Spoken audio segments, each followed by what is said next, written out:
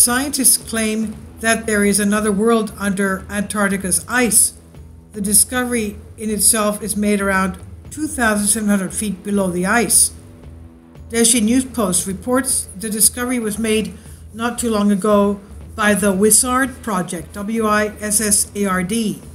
The WISSARD project, and it showcases the fact that there are massive wetlands underneath the ice of western Antarctica that could house life unseen anywhere else on our planet. The Whillans Ice Subglacial Access Research Drilling Project was officially commissioned by the National Science Foundation to formally scan underneath Antarctica's ice, as many believe that with the upcoming global warming, we might be able to find out more and more about our history as we know it. And the discovery in itself was made around 2,700 feet below the ice, as they reported that they followed the Lake Whillans to see where it led them, only to find out that a massive space, 2,700 feet below the ice, exists.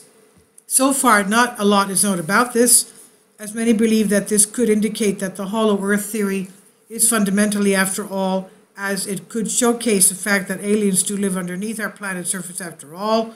Who knows? Maybe after we drill down into the wetlands, we could come across other life forms as well, including reptilians, aliens, or even humans that have opposed our society's norms and dedicate, decided to create their civilization under our noses. We'll be sure to keep in touch with you with everything that's being reported from these wetlands for sure. This was originally published by Deshi News Post on it's on Collective Spark. Please leave your comments.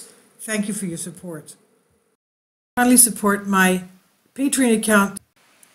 The daily posts are five videos daily, and they are totally different from what I have on my YouTube channel. Thank you so much for your support and that you find all my content so interesting. You'll find the Patreon account details in the description box below.